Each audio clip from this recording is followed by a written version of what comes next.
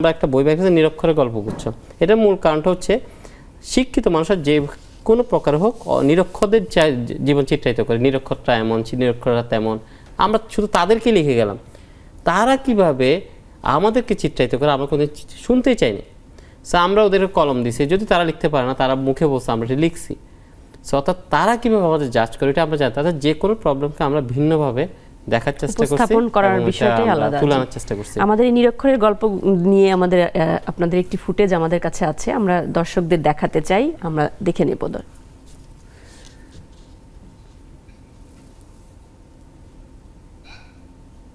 যা তারা রেখে যেতে চায় ভবিষ্যৎ প্রজন্মের জন্য কিন্তু লিখতে না পারায় তাদের সেই গল্প হারিয়ে যাবে মৃত্যুর সাথে সাথে।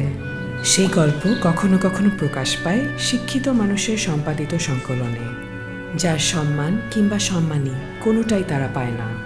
তাই নিরক্ষর মানুষগুলো আজীবন বন্দি থেকে যায় শিক্ষিত মানুষের লেখা চরিত্রে।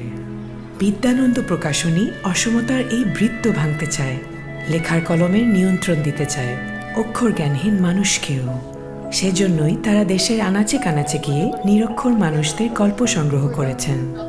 সংকলন ও প্রচ্ছদ শেষে বারো জন নিরক্ষর মানুষের গল্প নিয়ে একুশে বইমেলায় প্রকাশিত হয়েছে বিদ্যানন্দ প্রকাশনীর অনন্য বই, নিরক্ষরের গল্পগুচ্ছ। এই বইটির মাধ্যমে হাজার বছরের বাধা পেরিয়ে লেখক হিসেবে আত্মপ্রকাশ করেছেন নিরক্ষর মানুষেরা। তাদের শৈল্পিক কথায় চিত্রায়িত হয়েছে শিক্ষিত মানুষের চরিত্র এই যেন এক কলমের মুক্তি, কিছু মানুষের রচনার স্বাধীনতা। এই যে নিরক্ষরের গল্পগুচ্ছ, এটা তো অসাধারণ একটি জীবন দর্শন বলব আমি। বইয়ের মধ্যে যে বারো জনের গল্পগুলো উঠে এসেছে, তাদের প্রত্যক্ষ অভিজ্ঞতা থেকে প্রাপ্ত তাদের সেই বাণীগুলোই আপনারা তুলে ধরেছেন। এটা একটা অসাধারণ উদ্যোগ বলব আমি। সেক্ষেত্রে জামাল উদ্দিন আপনি বলবেন যে এটা, এই কাজগুলো আসলে আপনারা কীভাবে, এই যে প্রত্যন্ত অঞ্চলগুলোতে গিয়ে গিয়ে করেছেন, এই কাজের অভিজ্ঞতাটা একটু জানতে চাই।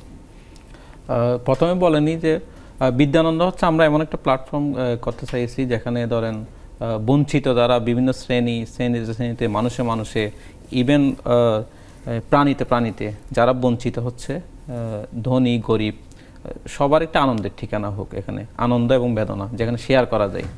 তো, তা আমরা এই আইডিয়াটা আমাদের একজন স্বেচ্ছাসেবক থেকে এসেছে। ইভেন একটা উনি যখন প্রথম এটি শেয়ার করে, তখন আমরা এটি লুফে নিই যে এটা তো খুব দারুণ একটা আইডিয়া যে একটা বৃত্তের মধ্যে কিন্তু এটি আটকে আছে লেখা জিনিসটা হ্যাঁ। তো আমরা একটি, এই, বৃত্তটা ভাঙতে চেয়েছি। তাদেরও গল্প আছে, যারা বঞ্চিত শ্রেণি আছে, প্রত্যন্ত অঞ্চলে যারা আছেন, তাদের নিজস্ব গল্পগুলো, তারা, এই, অক্ষর জ্ঞানহীন হওয়ার কারণে তারা লিখতে পারেন না।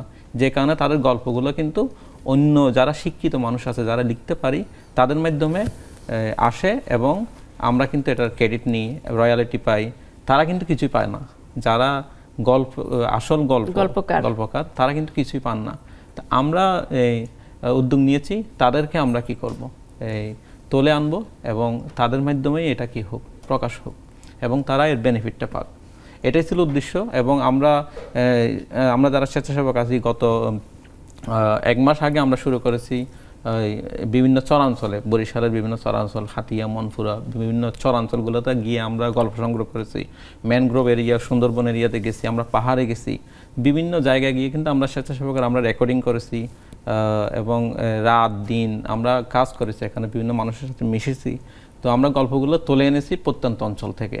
এবং এনে আমরা নিজেরা সংকলিত করে আমরা একুশের বইমেলায় এটা আমরা আপনাদের। নিজস্ব প্রকাশনা থেকে বিদ্যানন্দ হ্যাঁ, বিদ্যানন্দ প্রকাশনা একটি যে প্রকাশনা দর্শকদের কাছে আমার অনুরোধ থাকবে যে নিরক্ষরের গল্প গুচ্ছ বইটি কি সংগ্রহ করবেন এবং পড়ার জন্য কারণ এখানে পেছনে যারা বঞ্চিত সুবিধা বঞ্চিত তাদের জীবন দর্শন এখানে ফুটে আছে। আমরা অনেক কিছু তাদের কাছ থেকে শিখতে পারব সুতরাং আমরা বইটি সংগ্রহ করব সবাই।